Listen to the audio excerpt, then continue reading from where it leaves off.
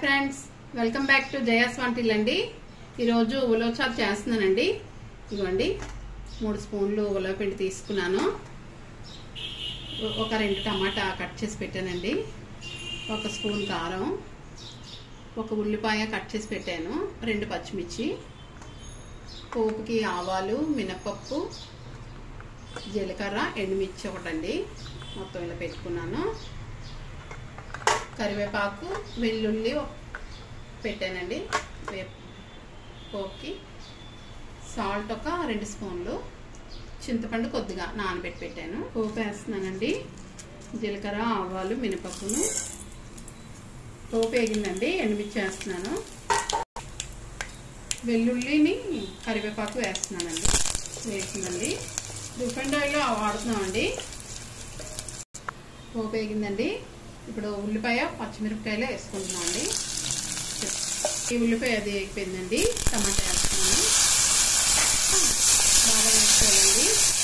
Salt కూడా వేసుకుంటున్నాం అండి. ఇప్పుడు మనం టమాటా సాల్ట్ కలిపిసి కాసేపు మూత పెట్టుకుందాం అండి. టమాటా బాగా మగ్గుతుంది. వేసుకుంటున్నాం అండి ఇప్పుడే. అండి.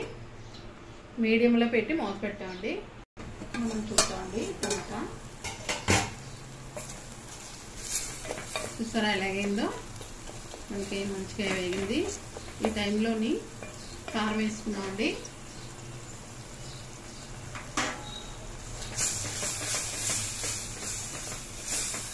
వేసాం కదండి? పులుపు కూడా వేసుకుందామండి. మనం చింతపండు కలిపి ఉంచుకున్నాము. మనం ఇంకా వేద్దామండి. మనం ఈ పిండి నీటిలో కలిపి ఉంచుకోవాలండి ఇప్పుడు. పులుపు వేసామండి మనం పిండి కలుపుకొని కొద్ది మరిగాక పిండి వేసుకోవాలండి. మనం ఉలవ పిండి వేయాలండి. ఇది మరిగాక ఉలవ పిండి వేద్దాం. మనం ఉల్లపిండి కలుపుకున్నామండి. వాటర్ వేసి నీళ్ళు వేసి మనం ఇప్పుడు కలుపుతామండి వేస్తూ కలపాలండి. మనం పులుసు మరిగాక వేస్తున్నామండి. ఇంకొద్దు. పులుసు పులుసు ఉప్పు కూడా చూసుకోవాలండి. మనకు మూడు స్పూన్లు పడింది సాల్ట్.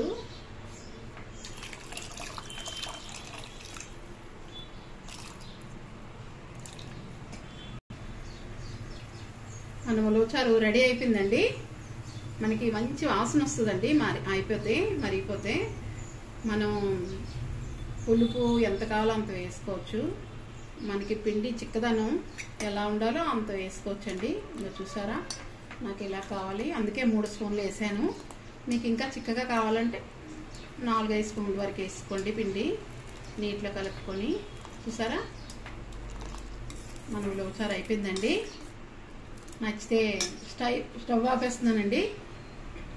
నచ్చితే లైక్ చేయండి షేర్ చేయండి సబ్స్క్రైబ్ చేయండి. Bye friends. ఎంతో రుచికరమైన ఉలవచారు రెడీ. బాయ్.